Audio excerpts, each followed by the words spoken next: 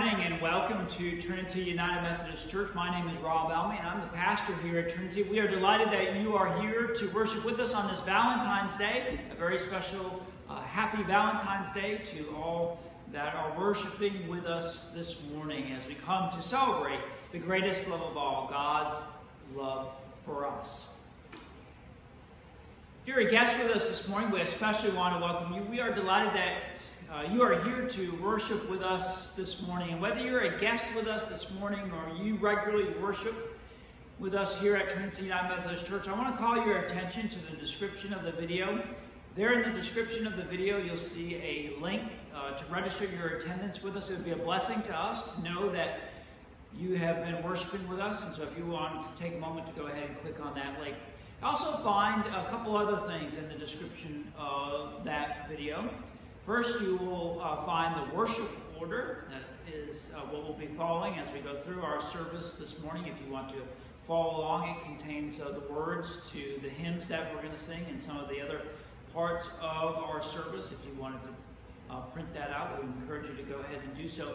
You'll also find a link to what's called our weekly trumpet.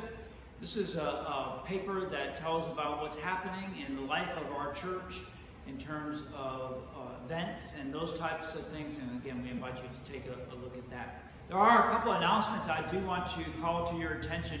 First, this coming Wednesday is Ash Wednesday. It marks the very beginning of the season of preparation called Lent.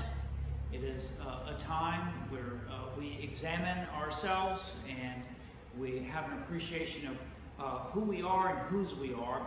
And part of that is um, marking uh, the sign of the cross and ashes on our forehead. We are going to be having an in-person uh, Ash Wednesday service.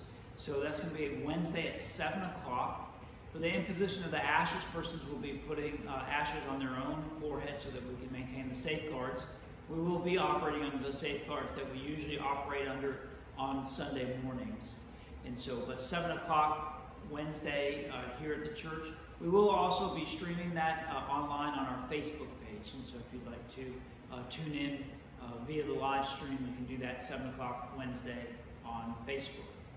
I also want to let you know that earlier in the day on that Wednesday is also a Love Wednesday. Love Wednesday is where we collect uh, goodies, both store-bought and homemade. We take them to folks that are working in our community. Uh, this particular Wednesday, we are going to be uh, blessing the teachers and staff at King George Middle School. And so uh, if you wanted to bring something in, we uh, would love for you to do that. What we really need help with is some folks to uh, help assemble and to deliver. And so uh, we meet at 10 o'clock to uh, go out and to deliver those. Again, it's just right down the road at, at the middle school. If you are so inclined to help in that way, we would uh, invite you to do so. Well, having uh, made those announcements and given that welcome, I'm going to invite you to uh, join with me in the call to worship. You can find that printed in that order of worship I told you about a moment ago. And I invite you to respond to the parts that are in bold. And for the sake of the continuity of our worship, I'm going to read um, both the parts for the minister as well as the parts for the people. We are branches rooted in the vine of Christ. We come because we seek to abide in Christ. The branches that remain in the vine bear much fruit. We come because we long to be spiritually vibrant, alive, productive. If we abide in Christ, then Christ's words will abide in us. We come because we strive to be faithful disciples. We gather for worship now to the glory of the one God, Father, Son, and Holy Spirit. May we grow in our faith and love of Jesus. Will you join me in prayer? Let's pray. Gracious God, we thank you for the opportunity and the privilege and the freedom to come and to worship you. We pray, oh God, that as we come and worship you this morning, that your name would be lifted up and glorified. We pray, oh God, that as we worship you and we turn our hearts and minds to you, that your Holy Spirit would manifest his presence in our midst, wherever we find ourselves, that your spirit would witness to our spirit that we are indeed your children, that we are loved with an everlasting love. And so, Lord, we offer ourselves, we offer our praise and our thanksgiving, we offer our songs, we offer our hearts to you in worship this morning. May it truly bring honor and glory to your name. May you bless this time that we share together as we bless you. In Jesus' sweet and precious name we pray. Amen. I invite you to join with me in our first hymn this morning. It's number 57 in the hymnal. It's called For a Thousand Tongues to Sing. You'll find the word printed in the order of worship or there up on the screen. Oh, for a thousand tongues to sing.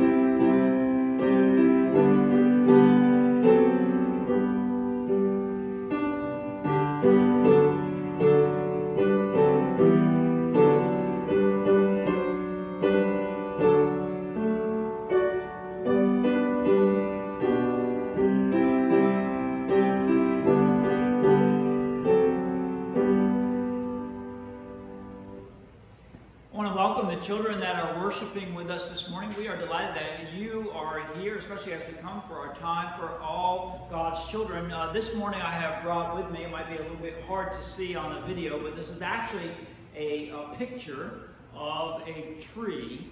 And I brought this picture of a tree because this tree represents really well kind of our relationship to our Lord and Savior, Jesus Christ.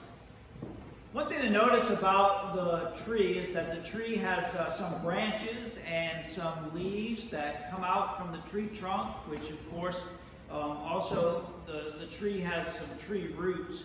It's in the tree roots that go into the ground that the tree gets its nutrients, nutrients from the soil as well as water that goes into the soil and it comes up um, into the tree. And of course allows for the branches to grow, for the trees to grow, for the tree to get leaves and to um, flourish. And so, if you think about it, if for some reason those nutrients and that water stop flowing from the roots of that tree up to the branches into the leaves, what would happen to the leaves is that they would die and, and fall off the tree, and that even the branches uh, might die and fall off the tree. Well, boys and girls, that's kind of how it is with us and Jesus. If you kind of think about uh, Jesus as um, our tree roots, and it is through him that we get the life-giving nutrients of his love and his strength and his power that help us to flourish. We're kind of like the leaves and the branches. But if we don't stay connected to the roots, then we can't flourish. We can't be all that Jesus calls us to be. In a moment, I'm going to read the scripture for us, and Jesus uses the, the words that I am the vine, but he could have said, I am the roots. And he goes on to say, and you are the branches, and apart from me, you can do nothing. And so I hope every time you might see a tree, it might be a reminder to you to stay connected to Jesus. Because when we stay connected to Jesus, that we receive his life-giving love and strength and power. And that can make all the difference. Will you join me in a word of prayer? Let's pray. Jesus, we thank you that you are the source of all life-giving love, all power, and all strength. We thank you, Jesus, that you give all of that to us so willingly. Help us, Jesus, to stay connected to you, to stay connected to you just as a tree is connected to its roots, so that we could flourish, so that we could be all that you would have us to be, so that we could love as you have loved us. All these things we pray in your powerful name. Amen. Our scripture reading this morning is from the 15th chapter of John. It's verses 1 uh, through 12. Jesus said, I am the true vine, and my Father is the gardener. He cuts off every branch in me that bears no fruit, while every branch that does bear fruit, he prunes so that it will be even more fruitful. You are already clean because of the word I have spoken to you. Remain in me, as I also remain in you. No branch can bear fruit by itself, it must remain in the vine. Neither can you bear fruit unless you remain in me. I am the vine, you are the branches. If you remain in me and I in you, you will bear much fruit. Apart from me, you can do nothing. If you do not remain in me, you are like a branch that is thrown away and withers. Such branches are picked up and thrown into the fire and burned. If you remain in me and my words remain in you, ask whatever you wish, and it will be done for you. This is to my Father's glory that you bear much fruit, showing yourselves to be my disciples.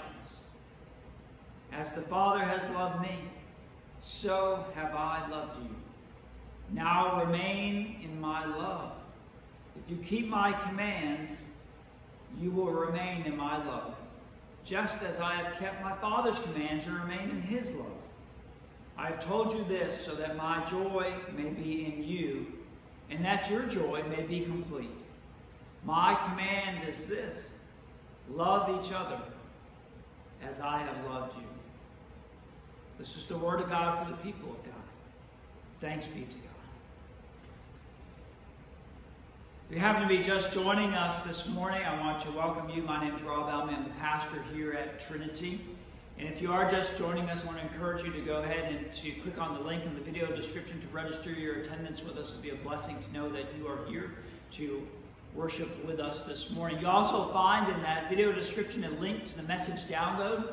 That is the outline of my message for this morning, which we're about to get into in just a moment. So if you want to pause the video and click on that link and go ahead and bring that up and even print it out, you can go ahead and fill in the blanks as we go and use that to maybe take some notes and revisit later on. But if you would join your heart with mine, let's go to the Lord in prayer before we get into our message for this morning. Let's pray. God, I pray that you protect me from me, that you'd hide me behind the cross of Jesus, that after all has been said and done, that he would be lifted up, that he would be worshiped and, and glorified. I pray, oh God, that your spirit would be over us this morning as your word is proclaimed. I thank you, Lord, that your word says that when your word is proclaimed, it shall not return to you void. But pour out your Holy Spirit on us this morning to open our ears and our minds and our hearts, that we might just receive what you'd have us to receive, that it would dwell in us richly, that it would change us, that it would bring us comfort and peace, Lord, that it would um, disturb us and inspire us. Lord, that it would just do what you have designed it to Pray, oh God, that glory and honor might be brought to your name by the words that are spoken and the meditations of our hearts, minds, and spirits. We pray all these things in your Son, Jesus' name. Amen. This Sunday, we're uh, finishing up a, a, series of messages we've been doing here at Trinity United Methodist Church called I Am Jesus. In previous messages, I've explained to you how we have been looking at those sayings of Jesus as we find them in John's Gospel. We call them the I Am sayings. We're seven times in John's Gospel. Jesus makes a pronouncement about himself, and he starts each pronouncement by saying, I am, and then he finishes it.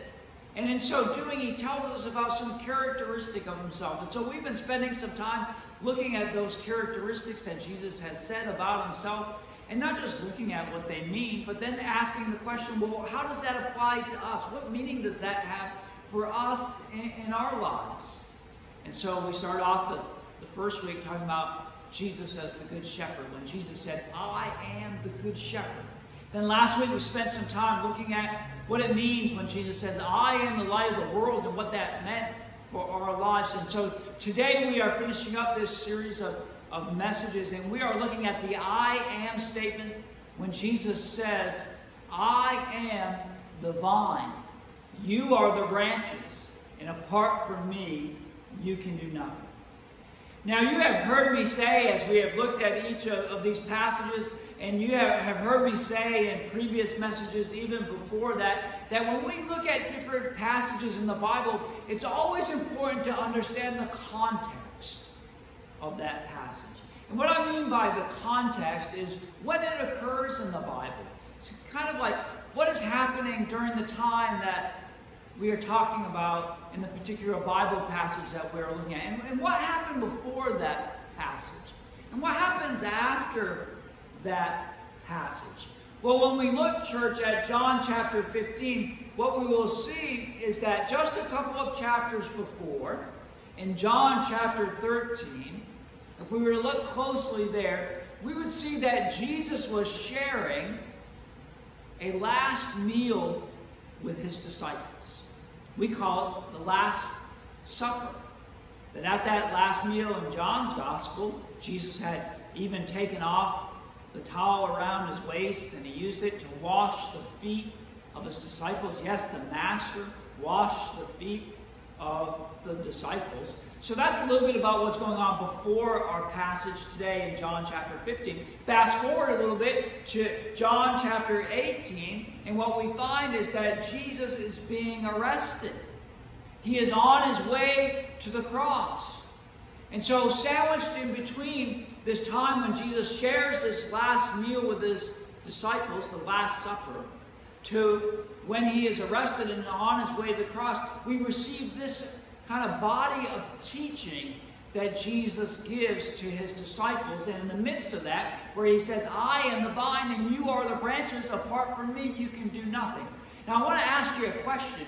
If you knew that you were going to die soon, and you only had a limited amount of time with your loved ones, with your children or your grandchildren, whoever it is that is closest to you, and you only had a certain amount of time to convey to them truths and your heart and all those things, don't you think that you would convey to them the important things, how much you love them, that you would convey to them some important teachings that you might want to pass on. Well, I think that's what Jesus is doing here in between these things. He knows that he has limited time left with his disciples. And so he wants to teach them these important things. And among these important things that he wants to teach them is this passage that we get from John chapter 15, where he says, I am the vine, and you are the branches. Apart from me, you can do nothing.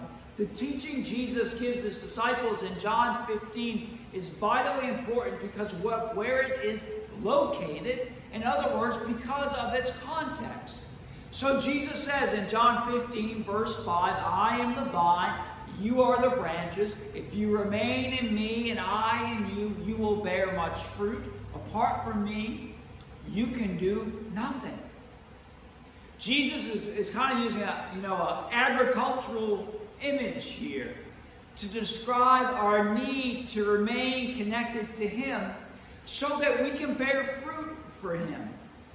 You know, in the uh, backyard of uh, one of the houses my family and I used to live in, we had one of those wisteria vines. Now, I don't know if you've ever grown wisteria, but they, they grow up pretty fast, and they, they tend to grow up, um, at least at our house, that we had this trellis-like thing where they would grow up on it, and they would grow in uh, these vines, and they have branches that would go all over the place. And it was necessary for me to get up on a ladder from time to time and to cut back those wisteria vines and branches because they would end up getting into the other trees that were around that trellis and they would end up choking out those trees. And so the thing about these wisteria vines and branches is at the very bottom where the wisteria vine would come out of the ground, it was pretty thick. I mean, it, was like two or three inches around at, at, least. And of course, as it got higher and higher, as, as the vine kind of stretched out into some branches, it got thinner and thinner, and that's what I had to cut. But if I had of cut that thick vine at the very bottom, coming out of the ground, not only would my wife have probably, you know, drawn up divorce papers or at the very least given me a whole bunch of grief for cutting down the beautiful wisteria. I didn't think it was too beautiful myself, but we're still working on that in our marriage. But all the branches at the top of that wisteria vine would die because they were cut off from the source of the nutrients, from the water of that thick vine at the bottom that allowed them to spread out, that allowed them to bear their fruit, which of course was, I'll, I'll kind of admit it, that it does put off a pretty flower, but you know, at the end, I don't think it's worth, worth all the work. But anyways. So this is the picture that Jesus is giving us here, I believe. He's saying that Jesus, I am the big, thick vine coming out of the ground. And that you and I, as his followers, are the branches. And it's essential that we remain in him. I want us to notice a few other things the scripture says this morning. Jesus promises that if we remain in him, if we remain connected to him, that we will bear much fruit. Interesting, isn't it, that we do not bear fruit on our own? That we don't bear fruit in our own strength, but only when we are connected to the source of our love and power and wisdom and strength, Jesus Christ. Another thing in this passage is to recognize not only the positive of remaining in Him and therefore bearing much fruit, but also what happens if we don't remain in Him. Just like if I cut off the bottom of the wisteria root and the branches died, so too if we cut ourselves off from the vine, Jesus Christ, we become powerless. We shrivel up. We die spiritually. Jesus said, apart from me, you can do nothing. We think we can do it ourselves sometimes in our own strength. But what we'll one day find is that even though we might have a little bit of success bearing some fruit, we will one day run out of energy. We will one day run out of strength. We will one day run out of our own wisdom. The purpose of remaining in Him to bear fruit has everything to do, church, with bringing God glory. In verse 8 of this chapter, Jesus says this This is to my Father's glory, that you bear much fruit, showing yourselves to be my disciples. Interesting, too, isn't it? That we're to remain connected to the vine, that we are to remain connected to Jesus, not just so we can have some religious experience, not just so that we can feel good about ourselves, but that we remain connected to the vine so that we can bear fruit for Him. Now, as a byproduct of that, we will feel good, we'll have religious experiences. But the primary purpose of staying connected to the vine is to bear much fruit. Now, I don't know about you, friend, but I dream a church, right, that would be full of people that are connected to the vine, bearing much fruit. I dream a church connected and so connected to the vine, Jesus Christ, that we will literally transform our community by bearing fruit. I dream a church that's so connected to the vine that people's lives and eternities are changed because they're a part of that church. I dream a church where whole families are changed because people discover Jesus, where we baptize just as many adults as we do cute little babies. I dream a church that is so connected to the vine that we're on fire for Jesus so much and we're bearing so much fruit because we're connected to that vine and He's empowering us that we impact our community so that no child goes to bed hungry, so that no child has to live in a hotel, where we reduce teen pregnancies, where because of our witness and because of people coming to Christ, our ministry touches people so that they change their lives and our community is changed. There's less crime. There's less violence. I dream a church where we hold up the name of Jesus Christ. So much so that an addict can hear of healing that can only come from Jesus. I dream a place in the church where marriages are saved. I dream a place that's so connected to the vine that people improve their financial lot by following God's prescription for handling money and possessions because after all, the Bible has a lot to say about handling money and possessions and we live in a community where people are struggling with their money and their possessions and their finances. For too long, I'm afraid we in the church, and I'm talking about the church universal, that we've not been connected to the vine because we have not been connected to the vine, we have settled for mediocre. Because we have not been connected to the vine, we have settled for being impotent. Because we have not been connected to the vine, we have settled in being just another organization, just another club. But you know what? That's not how God intends it. Because the church is his plan A. We are his body, his hands, and his feet to a lost and hungry world. You know, friends, some historians have suggested that way back in the 1700s, long time ago, right?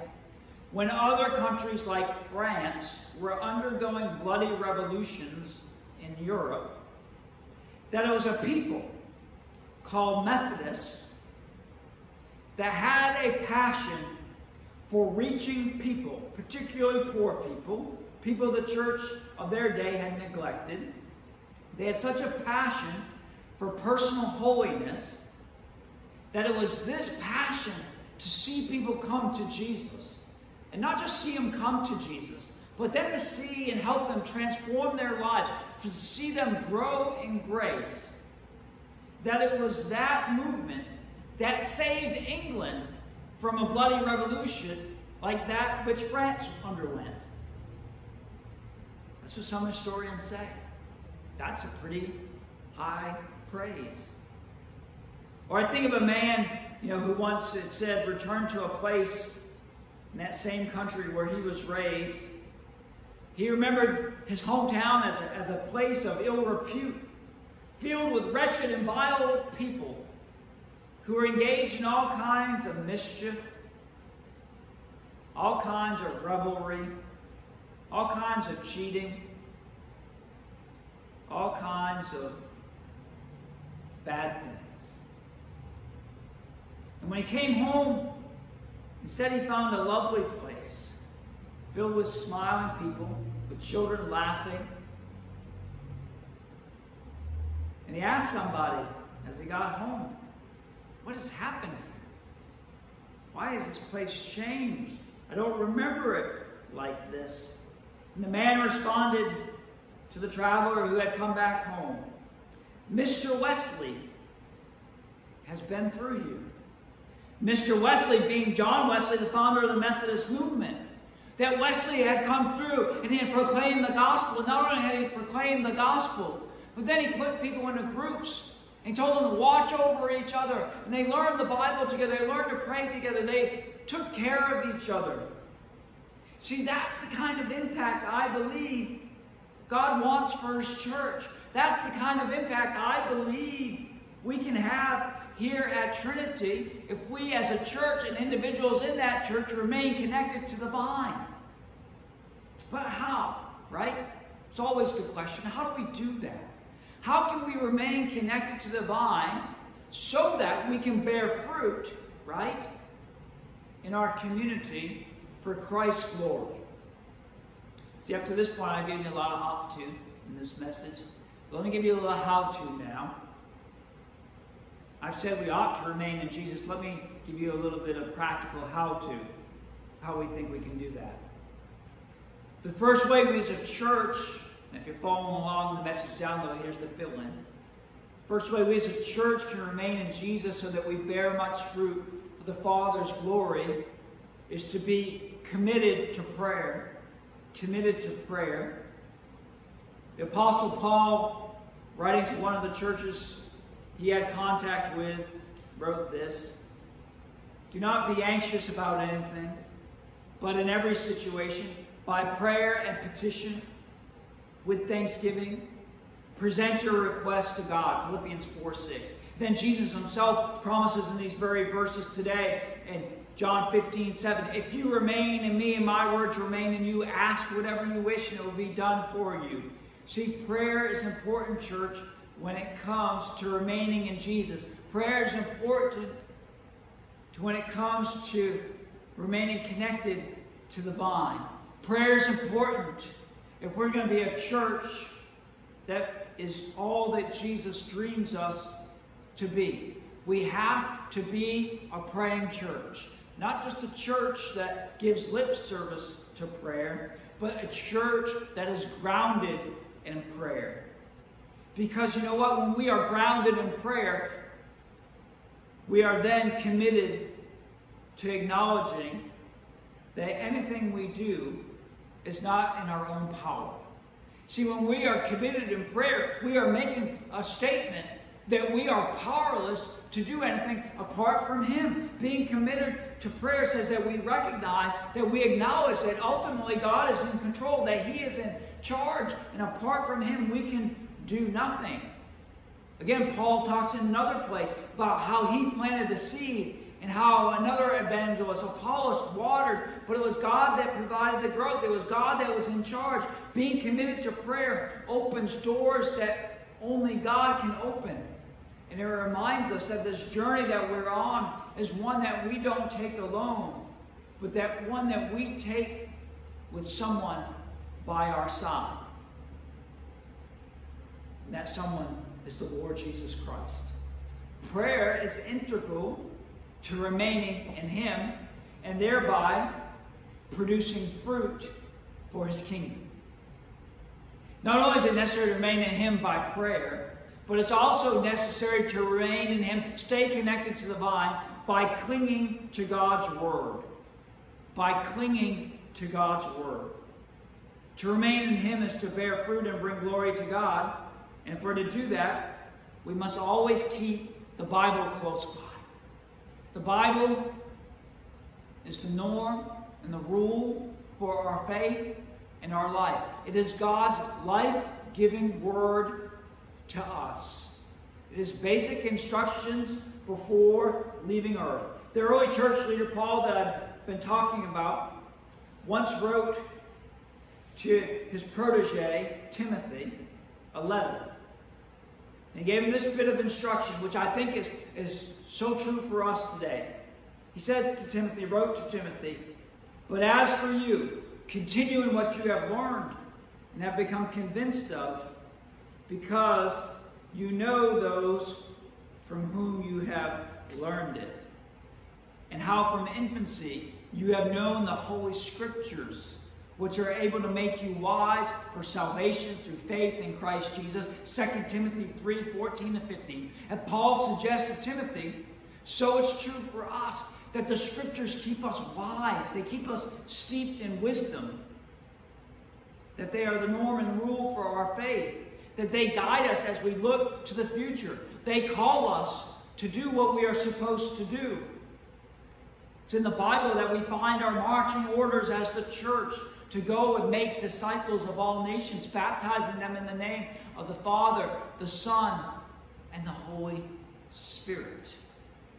We hear there in the scriptures the promise of a God whose love is so great that he sent his son to live and die and be raised for us, and not just for us, but for the world. You see the purpose of the church as we find it in the scripture isn't to have holy huddles. The purpose of the church isn't even to have church dinners. The purpose of the church is instead to be Christ's hands and feet, to go out there and to share the gospel in word and in deed. Clinging to the scriptures and being committed to prayer helps us to remain in Him so that we can bear that fruit for His glory. Finally, this morning, if we want to remain in Him as a church, we not only have to pray, we not only have to be people of one book and be people of the Word, but we must imitate Christ. That's the third thing. We must imitate Christ, especially as it pertains to his record of service and sacrifice. It was Jesus, as I was mentioning earlier in this message, who took out a towel and washed his followers' feet before they enjoyed that Last Supper together, before he went to the cross, whereby he gave them the example of service. And then on that fateful yet liberating day, he went to the cross, giving his life and spilling his blood in the ultimate act of sacrifice. And so, as people who say that we want to be like him, to follow him, to imitate him, then that means we are called to similar service and to similar sacrifice. And if we keep that central to what we do and who we are, then we will remain in Him and bear much fruit. You know, Jesus once said it like this For whoever wants to save their life will lose it, but whoever loses their life for me will save it. Luke 9 24. Yeah, you see, church, Jesus once told us to take up our cross and to follow him. Jesus never said, take up your pillow and be comfortable and follow me. No, he says, take up your cross. Take up that symbol of crucifixion, that symbol of dying to oneself, of giving up one's preferences, of giving up one's own comfort, and follow me. Well, how about you? And how about me? What are we willing to give up? What are we willing to let go in order to bear fruit for Jesus? To be all that Jesus dreams us to be as individuals and as the church. What are we willing to sacrifice so that God's envisioned reality for our church might come to fruition and we might bring glory to the Lord. What are we willing to, to give up so that even one person outside the walls of our church would come to a life saving decision to follow Jesus? Are we prepared to let go of cherished traditions of the past? Are we prepared to let go of those famous last words of the church. We've always done it this way before. In order to be all that Jesus and His Holy Spirit calls us to be, are we prepared to give our time, our talent, yes, even our money, to see God's dream for our beloved Trinity United Methodist Church to see God's dream for our community out there realized? Are we willing to do anything within the bounds of the gospel church to ensure that people in our community experience Christ's love? So that one sinner might be saved, so that one family might be changed, so that one addict might be recovered, so that one person might be brought out of poverty, so that one marriage might be saved, so that one hungry tummy could be filled, so that one ragtag child could be clothed, What are you willing to do? What are we willing to do an imitation of Christ, who gave up his life. He's not even calling us to give up our physical lives. But what are we willing to do in imitation of Christ? To sacrifice for the sake of God's mission through his church. You know, as I've had the opportunity to, to visit amongst our church, even in this time of COVID, as we've had safe visits, and some of you came to the church and visited with me. For some of you, I've sat outside under a tree with you. For others, you've met me on your side porch. We've had these visits. And one of the things that, that I have heard is not a thing that I haven't heard before. It's not a thing that a lot of other churches don't say. But the one thing that I, have heard that, that's come through every time was, as I've asked folks the question, you know, what's your dream for, for Trinity Methodist Church? And, and they said, you know, we need to, to reach younger families.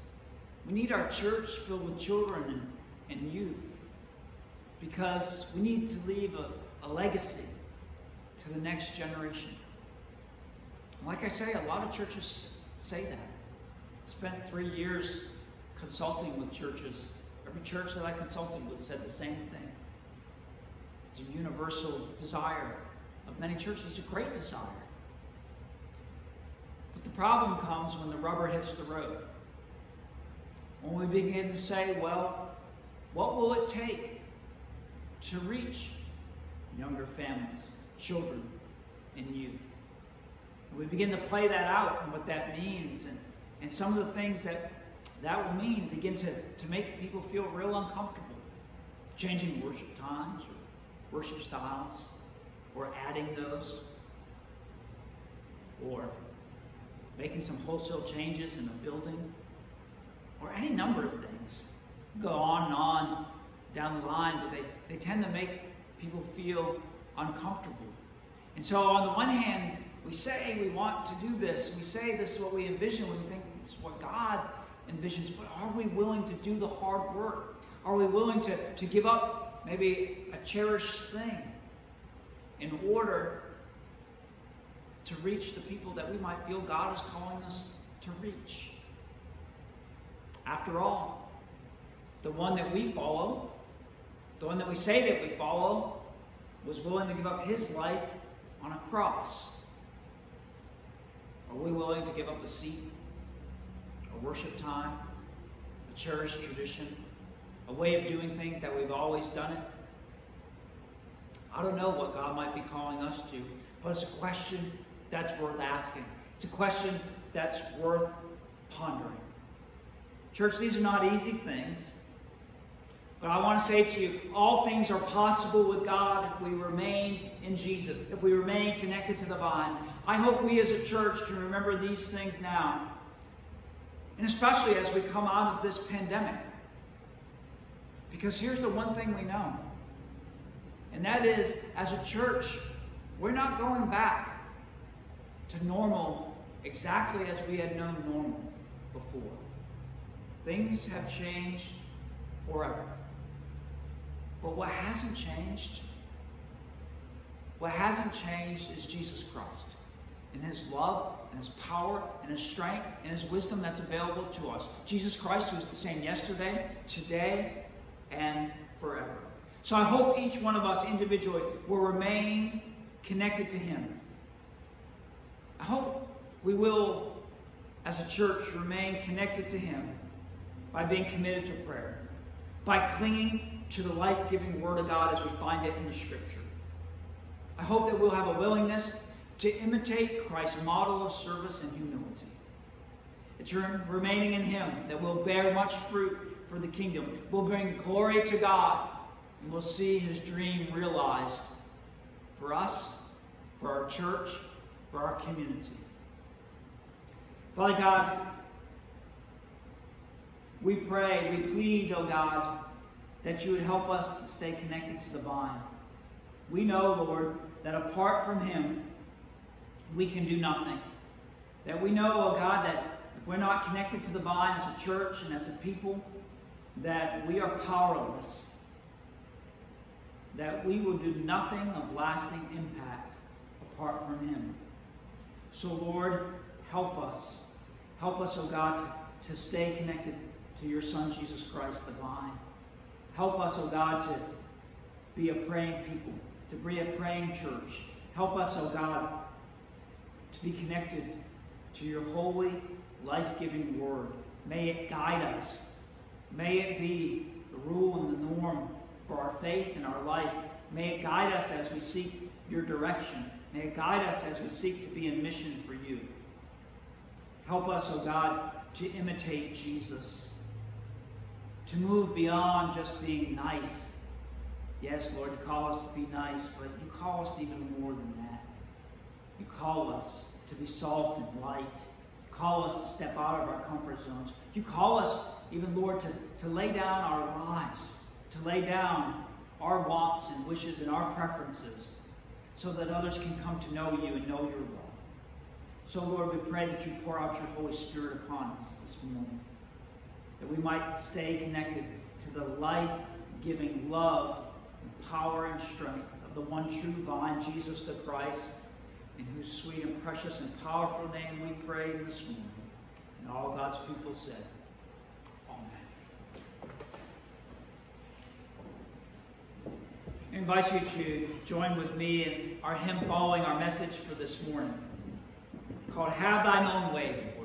As we invite God to have His own way with us, I invite you to sing the words as you'll find them printed in the order of worship or there up on the screen. Hymn number 382 Have Thine Own Way.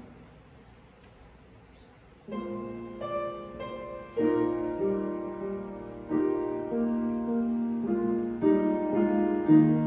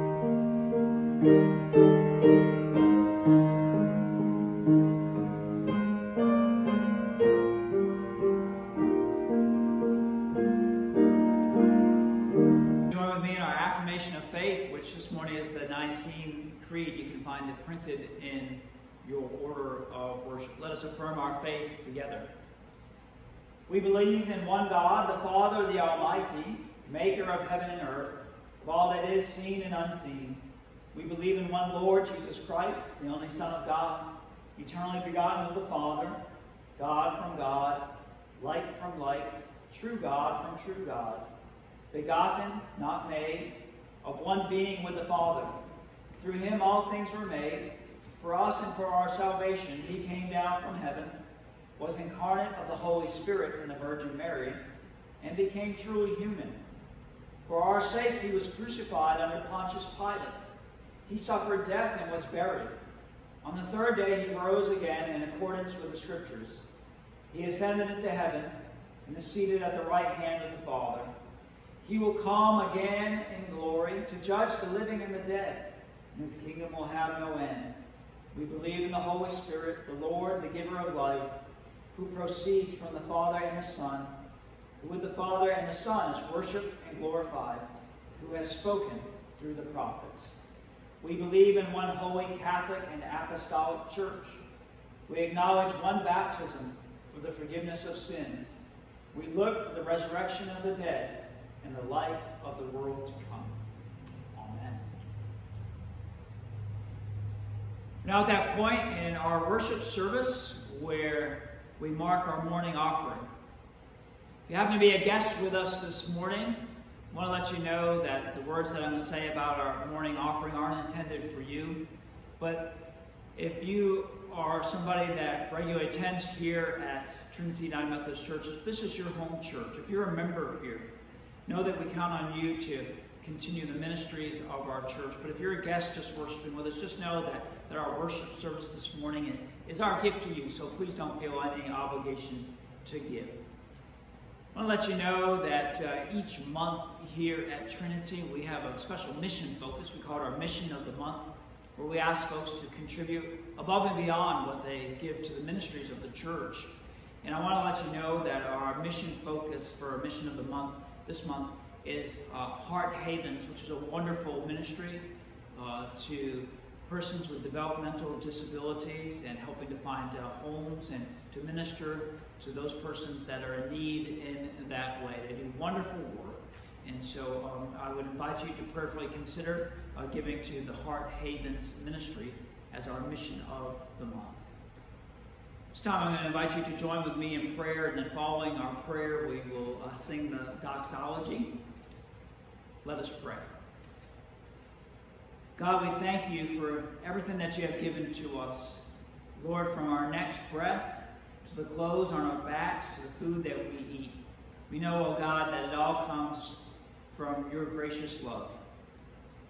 Lord, it's in response to your love for us that we give to you. We know, oh God, that this whole world and all that is in it belongs to you. So what we give back to you, Lord, is first what you own. And so, Lord, we pray that you take that which we give back to you. Bless it, multiply it. Let it do your work, Lord. Give this church wisdom to use the gifts that it is given, to be good stewards, to use the gifts in such a way that bring honor and glory to your holy name. We make all these prayers in the name of Jesus. Amen.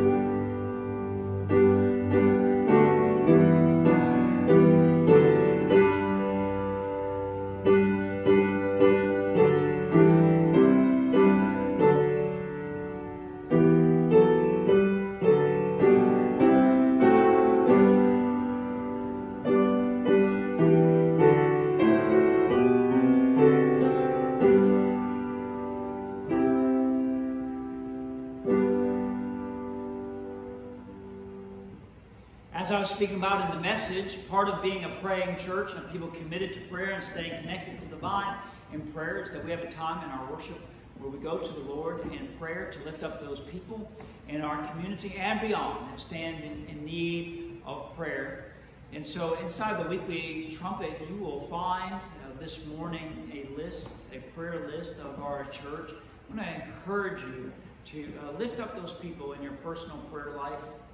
They would surely appreciate it um, servant. I lift up to you um, some people that were added this week uh, to our prayer list. Please keep uh, Dakota Adams in your prayer. Uh, Dakota is uh, headed to a Navy boot camp, and so uh, we want to remember uh, Dakota in our prayers as he goes for that exciting time. I also want to um, keep in our prayers George and Sylvia Copeland. That was requested by Beverly Gates. And also keep in your prayers Berta Thompson, as well as all of those that are on our prayer list, as well as those that lay silently on our hearts. So will you join your heart with mine and let's go to the Lord in prayer. I'm going to end up our time of prayer by saying what's known as the Lord's Prayer. You can find that printed in your order of worship if you need to follow along. Let us pray. O God of grace and God of, of glory, how magnificent are your ways. Lord, when we contemplate your greatness, when we look to the heavens and see your handiwork, we are just left to wonder who are we that you are even mindful of us? But Lord, you love us. You know us intimately. You know, know every part of our lives. You know every joy and triumph that we experience. You know every roadblock that we need to push through and every challenge that is before us. And you are the God who has promised to meet every need that we have. Lord, uh, such knowledge, such love, such grace and mercy is just beyond our limited human understanding and comprehension, Lord. It's just unfathomable to us how great you are, how you are the God who does the impossible, that you are the God who loves us so deeply. So we thank you, God. We thank you for all that you are. We thank you for the many blessings that you have poured out upon our lives this week. Lord, sometimes we are slow to return thanks. We sometimes, Lord, take for granted all that you do for us. But Lord, this morning we come to give you the praise and the glory, to say thank you. Thank you, Father, for all that you have done, all that you have done in the past, all that you're doing in this moment, and all that we know that, that you're going to do in the future. Thank you, Father. Lord, we also come to pray to you and to ask your intervention in the lives of those that we know and love that need healing, that need comfort, that need peace. Lord, we come to ask that you would go with those who are entering new ventures. Pray, Lord, for those who need a door open. Pray, O oh God, for those who need a sense of your presence, that need to experience some hope. Pray for those that are struggling financially, Lord. We pray for those who are struggling relationally, whether that's in marriage or in family. Lord, we pray for those who are parenting and need strength. Pray, oh God, for those who are experiencing difficulty in the workplace. In short, Lord, we pray for every situation, every person who needs your grace. We pray, Lord, that you would pour out your healing, that you would pour out your comfort, that you pour out your peace, that you would give hope as only you can give hope, that you would indeed, Lord, help those who stand in need. Lord, we continue to pray for this community. We pray for the lost in our community. Especially we pray, Lord, for those who think they have no need of you.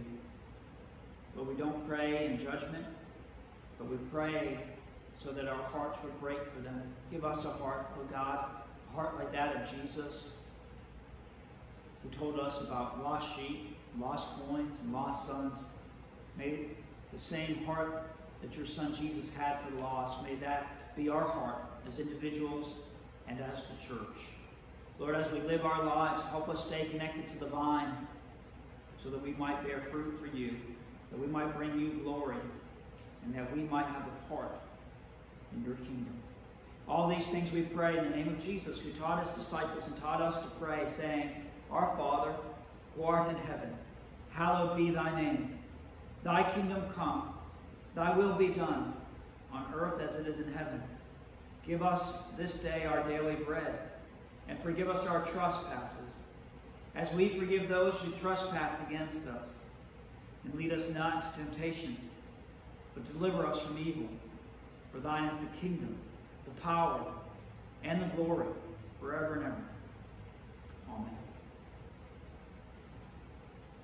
Our final hymn this morning is number 139 in the hymnal. Called Praise to the Lord, the Almighty. You can find the words printed in your order of worship or there up on the screen. Praise to the Lord, the Almighty.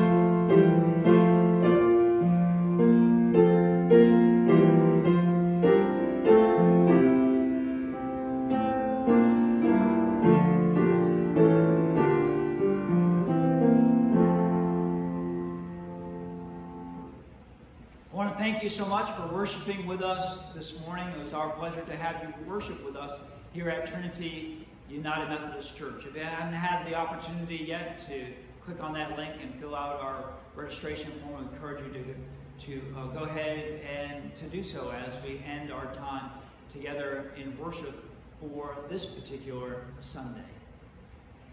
I like how this old hymn puts it. It says, Let the Amen sound from his people again. Let the Amen sound from his people again. I want to encourage you to go out from this time of worship. Stay connected to the vine who is the source of our strength, of our power, and of our love. Stay connected to the vine so that we might bear fruit for him, so that indeed the Amen would sound again, so that we would be all that God dreams us to be. As you go and as you do that, may you be well. May you stay safe. May you stay healthy. May God be with you until we meet again. Go in peace. Amen.